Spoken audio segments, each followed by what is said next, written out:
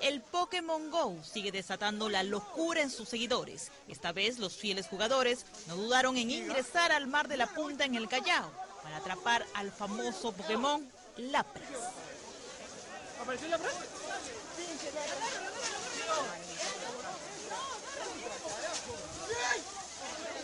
Mira, qué orgulloso, chapó Lapras. Este video fue subido a YouTube. Se observa cómo los jóvenes pierden la cabeza y van detrás del Pokémon tipo agua. Algunos se quitan incluso las zapatillas, otros ingresan con sus prendas. ¡Uy, se están quitando las tabas! ¡No! ¿Es en serio? ¡Uy, están quitando las tabas!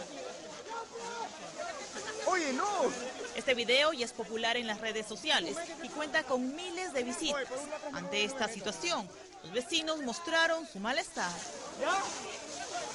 Corren, que gritan. Corre, gritan, se emocionan o quedan tantos minutos para alcanzar el, el Pokémon que va a aparecer y así. así. ¿Y hasta qué hora están?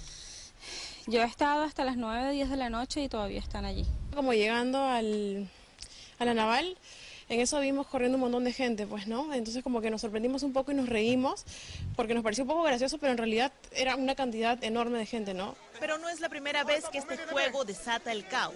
En el Parque El Olivar, una joven que jugaba Pokémon Go perdió su celular. El móvil acabó en la laguna y ella se mostró un tanto desesperada por tratar de recuperarlo. De acuerdo con los comentarios en las redes sociales, la muchacha se encontraba con su enamorado en el momento del incidente, pero él no se animó a meterse al agua.